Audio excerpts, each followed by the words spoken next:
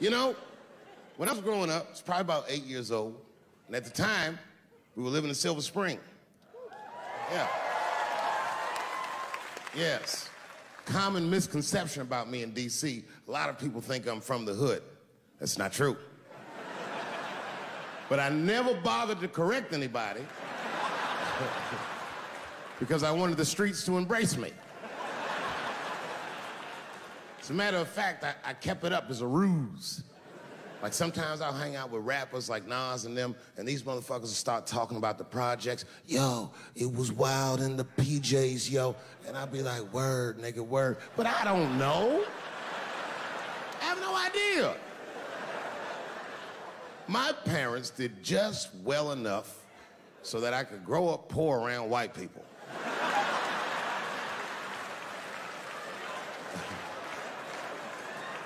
And to be honest, when Nas and them talk about the projects, nigga, I used to get jealous because it, it sounded fun. Everybody in the projects was poor, and that's fair.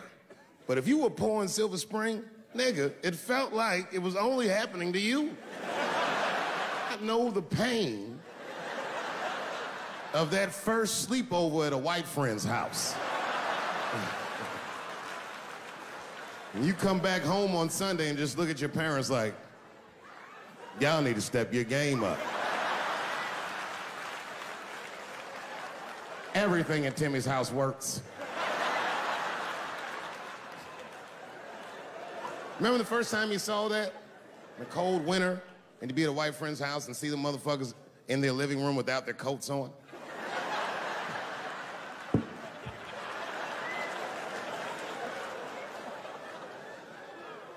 Timmy was one of my first white friends, like in my life, man.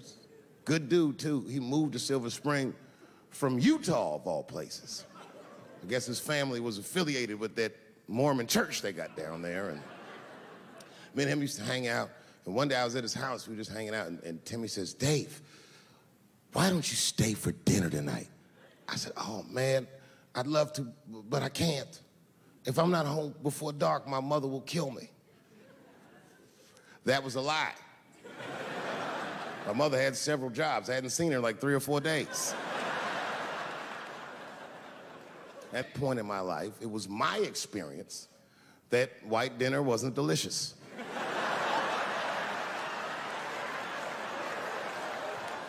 I'd rather go home and fry some bologna or some shit like that.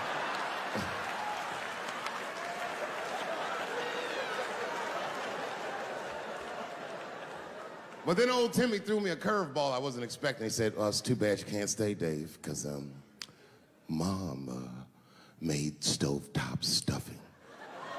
I said, "What the fuck, stovetop?"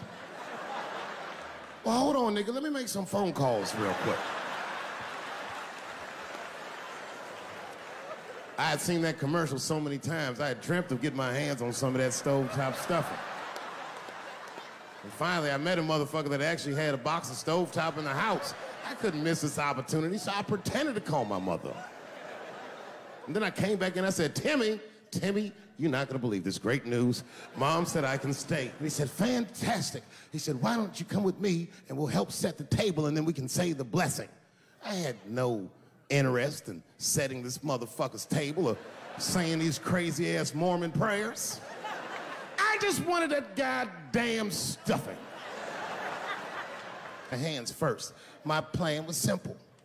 Wash my hands slowly, and by the time I'm done, the table will be set, the blessing will be said, and all that there will be left to do is eat.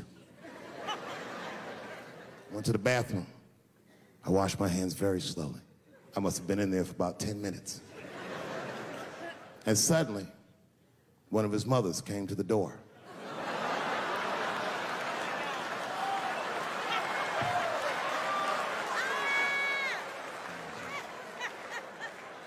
She was like, Hi, David, right? I said, Yes, ma'am. She said, Timmy tells me that you're planning on staying for dinner. I said, I hope that's not a problem, ma'am. She says, No, it's no problem. In fact, we'd love to have you. It's just that we weren't expecting company. And I'm afraid there's not enough stovetop stuffing for everybody. So I kicked her in the pussy. Bam! Ladies and gentlemen, I told you I'm dope, nigga. I told you what I was gonna say, and you still didn't see it coming. And that's why I make the big bucks.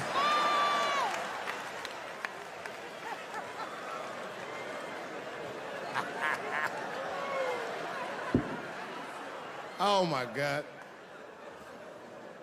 But there's a more important reason that I would stop doing comedy right now. And this reason is the real reason that's been percolating, and, and it really is the crowd, not you.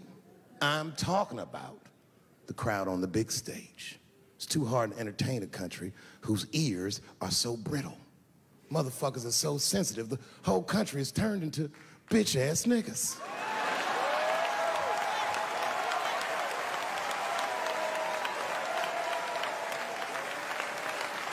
Everything you say upsets somebody. You know, I can remember when it all started. It was when I was doing Chappelle Show. When I was doing Chappelle Show,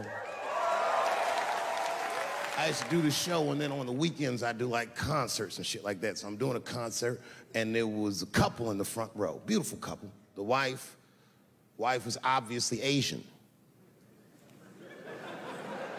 You could see it in her face.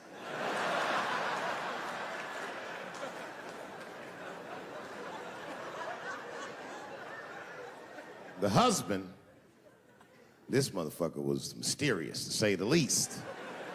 Couldn't quite pinpoint where he was from. Caramel colored fella, very nice hair, but he could have been from anywhere Bangladesh, Mexico. I can't guess with a nigga like this. All I knew for sure about this guy is that his wife was a bitch. I could see that in her face, too.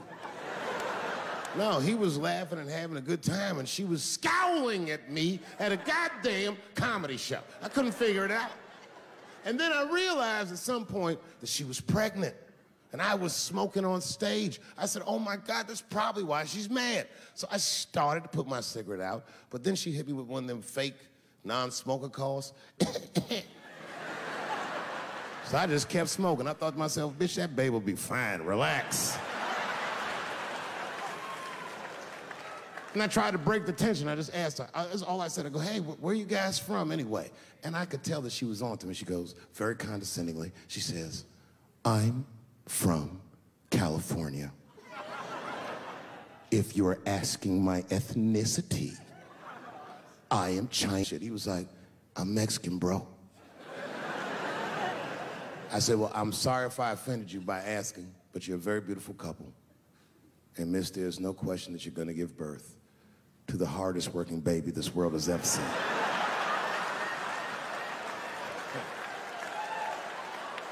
That's not a bad joke. She got very upset. She got up to leave immediately, but she didn't just leave. She had to take one last dig at me on the way out. I will never buy one of your fucking DVDs again, Dave Chappelle. I said, ma'am, with all due respect, Chinese people don't buy DVDs.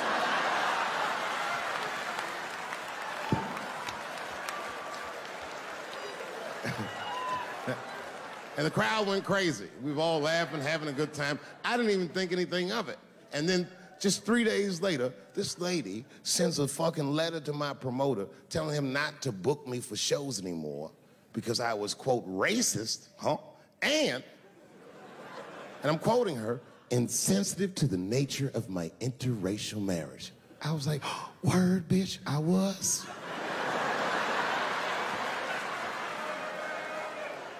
if she, she would know that I myself am in an interracial marriage. That's right. In fact, my wife is Asian too. Surprise, bitch, I'll see you on Thanksgiving.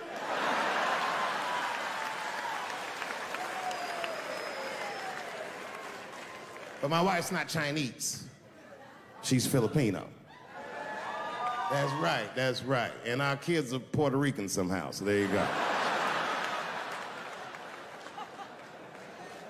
I don't give a fuck about interracial marriage. In fact, you know what? My mother is half white. A lot of people don't know that.